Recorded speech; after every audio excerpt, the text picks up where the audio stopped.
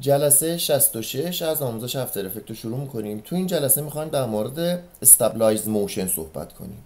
اول ببینیم کجاست. این Tracker مون اگر نداشتیدش از منوی Window بیاریدش. در مورد Track Camera رو صحبت کردیم.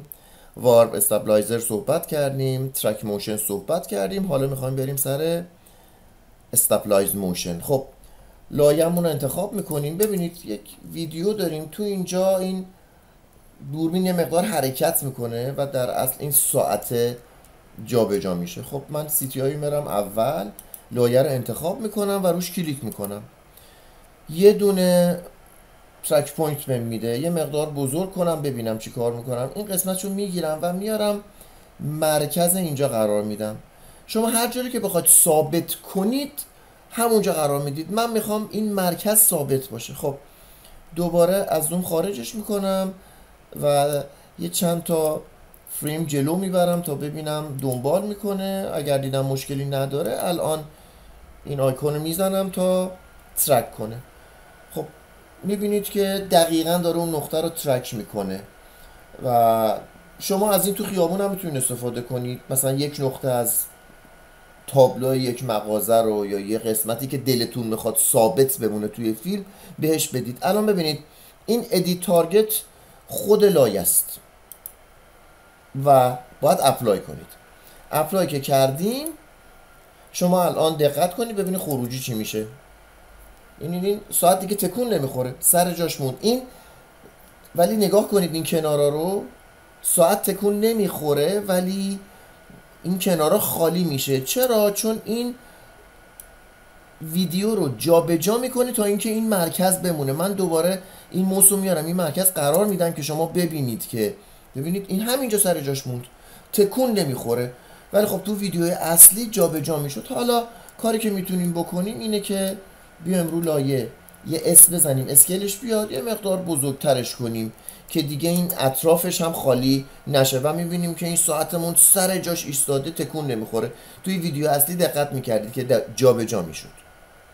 اون composition رو delete کردم یه ویدیو دیگه آوردم. یه تعداد اردک داریم اینجا قدم می‌زنند. این یکی اردک که این وسطه رو می‌خوام انتخاب کنم و stabilize رو روش اعمال کنم. stop کنم فیلممو و CTI رو بیارم اول. دقت کنید CTI بیارید اول. نه اینکه بگم راهی ندارید. دوباره باید به عقب track کنید. CTI میاریم اول خیالم راحت باشه. لایه رو انتخاب می‌کنیم. بله می‌تونیم stabilize motion رو کلیک کنیم ولی می‌خوام یه راه دیگه هم بهتون یاد بدم. حتی می‌تونید track motion رو کلیک کنید و از این قسمت باز کنید اینجا stabilize رو انتخاب کنید. این هم همون اتفاق براش میفته خب من بزرگش می‌کنم و این track point رو میارم روی نوک این پرنده قرار میدم و دوباره کوچیکش کنم که حرکاتش رو ببینم دقیق. خب. چند تا فریم می‌برم جلو ببینم دنبال می‌کنه دنبال کرد. می‌زنم اتوماتیک بره جلو. حواسم هست اگر یه جا جاموند stop می‌کنم و حالا یا فریم فریم میرم جلو یا دستی درستش می‌کنم. همچنان داره دنبال پرنده حرکت می‌کنه. خب الان جاموند برمیگردم یه مقدار عقب. خب تا اینجا درست بود. الان فریم فریم میرم جلو. نوکش رو که پرنده برگردون گم کرد. فریم فریم که بریم احتمالی که پیدا کنه بیشتره. پیدا نکرد مجبوریم دستی این کار انجام بدیم. فعلا که خب الان ببینید سرش رو برگردوند track point مون هم حرکت کرد. خب پس ادامه میدیم. فریم فریم رفتن جلو رو. تا دوباره سرش رو برگردونه به مستقیم خب الان بزنم ببینم ادامهش رو حرکت می‌کنه یا نه. خب حرکت کرد. تموم شد. مونده فقط apply کنیم. apply می‌کنم OK می‌زنم و دقت کنید. من موس رو می‌ذارم روی این پرنده و space رو می‌زنم. ببینید پرنده همونجا روی موس هست و این ویدیویی که داره جابجا میشه انگار پرنده وقتی داره قدم بر میداره دوربین هم دنبالش داره حرکت می‌کنه. فقط می‌بینید این دوروور یه مقدار خالی میشه اون هم راه داره. برای اینکه خالی نشه من لایه رو انتخاب می‌کنم یه S می‌زنم یه مقدار scale ش رو زیاد می‌کنم. الان بهتره. الان دوربین به دنبال پرنده حرکت می‌کنه و این افکت رو برامون ایجاد می‌کنه. اون composition رو delete کردم یه ویدیوی دیگه اووردم می‌بینید که یه همچین حرکتی داریم. خب الان دوباره لایه رو انتخاب می‌کنم. از این قسمت این دفعه دوباره stabilize motion رو کلیک می‌کنم. یه نقطه بهم داد. و این دفعه می‌خوام از rotation ش استفاده کنم. پس روتیشن رو هم می‌زنم. یه نقطه دیگه هم بهم میده. یه مقدار بزرگش می‌کنم برای اینکه ببینم چی کار می‌خوام بکنم. اینو بر میدارم میارم می‌ذارم. این وسط خب و جابجاش می‌کنم که به این پایینم دسترسی داشته باشم و این یکی رو بر میدارم میارم اشتباه کردم کنترل زد دقت کنید کجاشو می‌گیرید. اینا رو جلسه اول صحبت کردیم در موردش. حتی جلسه اول این هست. خب این هم می‌ذارم اینجا. حالا دوباره کوچیکش می‌کنم. زوم آوت می‌کنم که ببینم چی کار می‌کنم. از همینجا بازش کنم اصلا فیتش کنم. کامل ببینمش. خب با این آیکون یه دونه میرم جلو جاموند ببینید چرا جاموند برای اینکه سرعتش زیاده. در یک فریم پرید بیرون از محدوده من. برمیگردم و این محدوده رو بزرگ می‌کنم که وقتی یه فریم میرم جلو گمش نکنه. الان یه فریم میرم جلو می‌بینید که پیداش کرد. یه فریم دیگه پیداش کرد. پس این نکته رو خیلی دقت کنید. دوباره میرم و فیتش می‌کنم و می‌زنم اتوماتیک تا بقیه نقاط رو پیدا کنم. دقت کنید برای استابلایزر معمولی که توی ویدیوهای قبل خدمتتون عرض کردم که یکیش همون اردکی بود که حرکت می‌کرد و یه دونه دیگهش اون ساعت بود شما می‌تونید از خودتون استفاده کنید. مثلا بدوید. یا اینکه نمی‌دونم از یک رقص یک همچین افکتی بسازید و به شدت افکت زیبایی خواهد شد. خب این هم از ویدیومون تا آخر ترکش به قشنگی انجام شد. حالا اپلای می‌زنیم.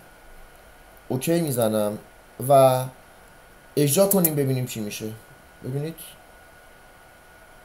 یه چنین افکتی ایجاد کرد. یعنی الان اگر دقت کنید ویدیو رو داره میچرخونه. این قسمتی رو که من ترک کردم این قسمت ثابت میمونه. موس رو ببینیم من روش قرار میدم. تکون نمی‌خوره.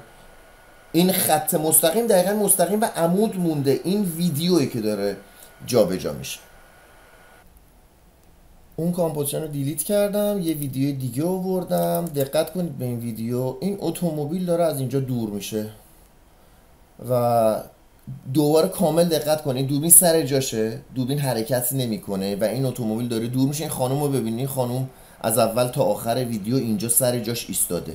اینا رو دقت کنید که وقتی ویدیو تغییر کرد قشنگ تشخیصش بدیم. خب ویدیو رو انتخاب می‌کنیم و از اینجا stabilize motion رو می‌تونیم بزنیم. می‌تونیم هم از اینجا track motion رو بزنیم و بعد بیایم از این قسمت stabilize رو انتخاب کنیم. و چون می‌خوام روی scale کار کنم scale رو هم می‌زنم تا یه دونه دیگه هم track point بهم بده. خب دو تا نقطه رو باید اینجا انتخاب کنم اینو بر میدارم میارم می‌ذارم اینجا. امیدوارم اذیت هم نکنه و اینو هم بر میدارم میارم می‌ذارم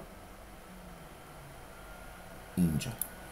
خب یه فریم برم جلو یه فریم دیگه یه فریم دیگه. خوبه. تا اینجا داره دنبال می‌کنه. بزنم تا انتها ببینم میره جلو. بد نیست. بد نیست داره دنبالش می‌کنه. و می‌بینید که دارن اینا به هم نزدیک میشند. اول دیدید چقدر فاصله داشتن الان ببینید فاصلهشون کاملا نزدیک شد. خب تموم شد و کافیه من apply و بزنم. apply و می‌زنم. OK می‌کنم و الان خروجی رو ببینید. دوربین داره به دنبال سوژه حرکت می‌کنه. دقت کنید خانم ببینید از صحنه خارج شد. چون دوربین داره حرکت می‌کنه به سمت سوژه و یه جورایی انگار فاصلهش رو حفظ کرده و یا اینکه همینطور که داره میره جلو زوم کرده. در حالت عادی ویدیو دیدید. این اتومبیل همونطور که می‌رفت جلوتر کوچیکتر می‌شد و این خانوم هم سر جاش ایستاده بود. یه ویدیو دیگه آوردم. تو این ویدیو هم می‌بینید که این اتومبیل داره دور میشه دوربین سر جاش ایستاده و حرکت نمی‌کنه. می‌خوایم اینو هم روش کار بکنیم.